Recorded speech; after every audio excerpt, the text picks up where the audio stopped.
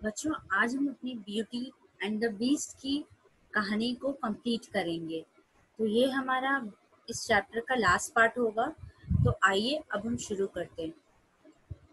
Belly agree to this and set off for home with an enchanted mirror and ring अब देखिए, मैं फिर से इस लाइन को पढ़ती हूँ, एक बार और। Belly agree to this and set up for home with an enchanted mirror and ring अब यहाँ पे बोल रहे बेली बेली एग्री कर गई एक कंडीशन पे। क्या कंडीशन थी? जो कि बीस ने उसके सामने रखी थी कि ठीक है, वो उसे अपनी फैमिली से मिलने के लिए तभी परमिशन देगा जब बेली वन वीक के अंदर रिटर्न आएगी प्रॉमिस करेगी। तो बेली मान गई। वो अपने घर जाने लगी। तभी बेली ने बीस ने सॉरी बेली को एक एंचेंटेड मिरर दिया और एक रिंग दिया। The mirror would allow her to see what was going on back at the beast castle उस मिरर में, उस मिरर की खासियत क्या थी? वो ये खासियत थी कि मिरर उसे अलाउ करेगा बेली को अलाउ करेगा कि जो भी बीस की कैसल में हो रहा है बेली उसे देख पाए। And the ring would allow her to return to the castle in an instant when turn three times around her finger और रिंग की खासियत क्या थी कि रिंग उसे अलाउ करेगी कि वो कैसल में वापस आ सके।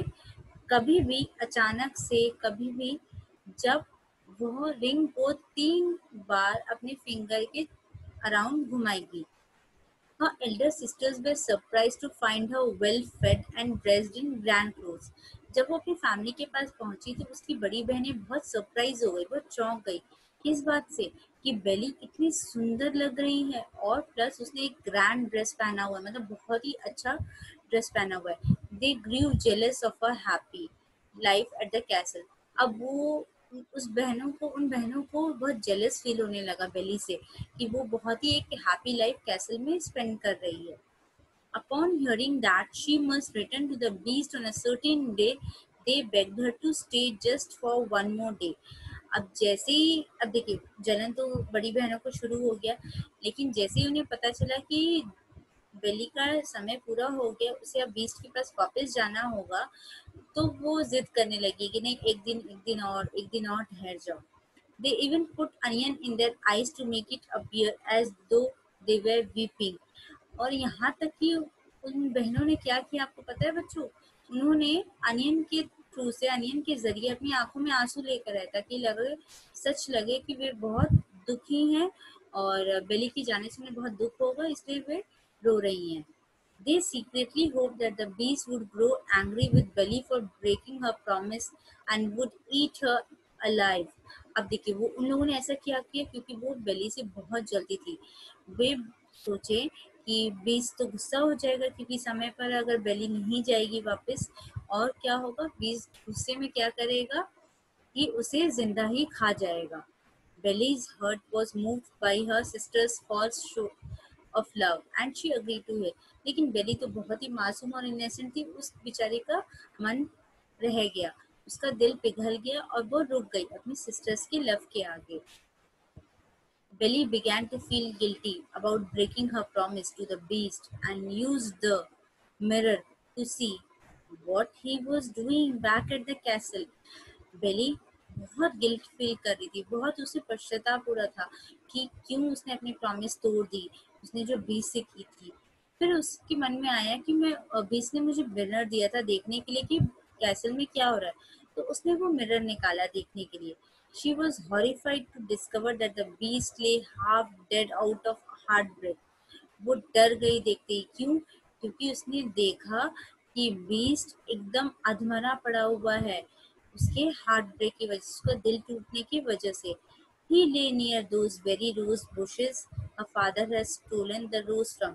और वो एग्जैक्टली exactly कहाँ पे था? वो एग्जैक्टली exactly उसी रोज बुशेस के पास था, उसी रोज के प्लांट्स के पास में था, जहाँ से उस बेली के पापा ने बेली के लिए रोज लिया था। She immediately use the ring to return to the beast immediately क्या किया बीस्ट बेली ने? उसने रिंग को घुमाया अपने फिंगर के चारों तरफ़ तीन बार और वो इमीडिएटली बीस्ट के पास पहुँच गई। Upon returning Belly found the beast almost dead जैसे ही वो बीस्ट के पास पहुँची, वो देखती है कि बीस्ट ऑलमोस्ट डेड हो गया मतलब अब मरने ही वाला है। She wept over him, saying that she loved him अब वो उसके ऊपर सर रखकर रोने लगे, बोलने लगी कि वह उससे प्यार करती है। As soon as her tears touched him, the beast was transformed into a handsome beast.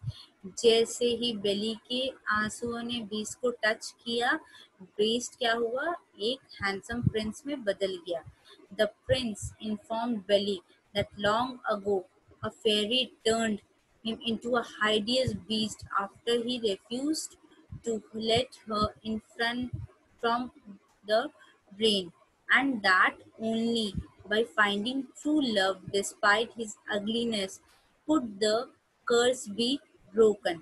तो अब देखिए यहाँ पे क्या हुआ?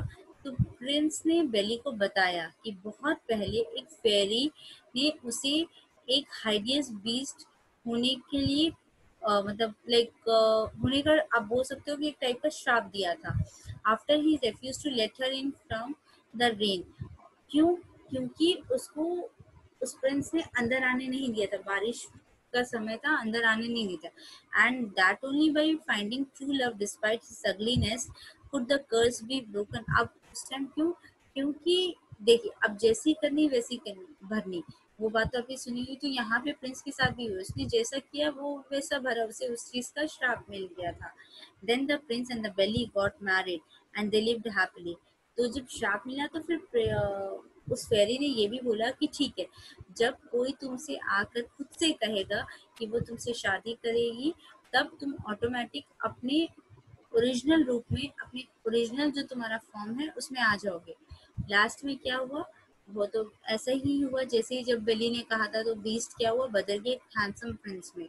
अब उसके बाद फिर दोनों ने शादी कर ली और दोनों बहुत खुशी खुशी रहने लगे। तो ये थी हमारी ब्यूटी एंड द बीस्ट की कहानी, बच्चों।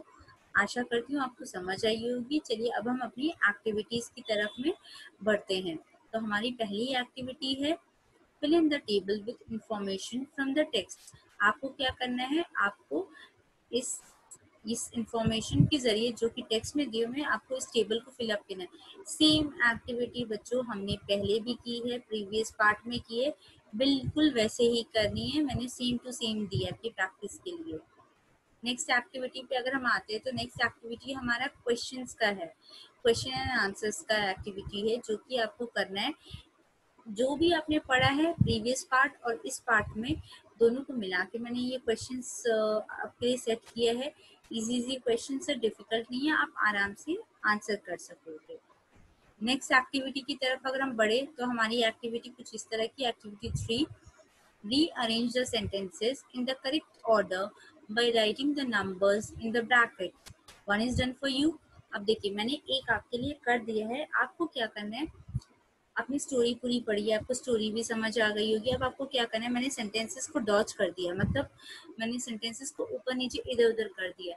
अब आपको ऑर्डर में सेंटेंसेस को सजाना है। मतलब सिचुएशन वाइज जैसे जैसे कहानी आप पढ़ते गए जैसे जैसे जो चीज़ होती गई वो आपको उसी तरह से सेंटेंसेस को सजाना है। जैसे सबसे पहला सेंटेंस मेरा इनमें था the merchant promise to bring a rose for Bill सबसे पहले मर्चेंट ने प्रॉमिस किया था कि वो एक रोज लेकर आएगा बेली के लिए। उसके बाद क्या सेंटेंस होगी? आप सारे सेंटेंसेस को पढ़िए और आप करिए। नेक्स्ट हमारी है एक्टिविटी फोर वो क्या है? The meanings of certain words are given here identify those words from the present बिल्कुल सेम एक्टिविटी अपने प्रीवियस पार्ट में भी की है।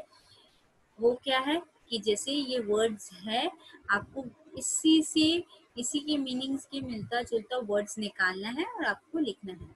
तो बच्चों, आज के लिए इतना ही। आशा करती हूँ आपको अच्छे से चैप्टर समझ आई होगी, सारी एक्टिविटीज़ आप अच्छे से कर रहे होगे, आपको मज़ा भी आ रहा होगा। आज के लिए इतना ही। हम फिर मिलेंगे एक नए चैप्टर के साथ।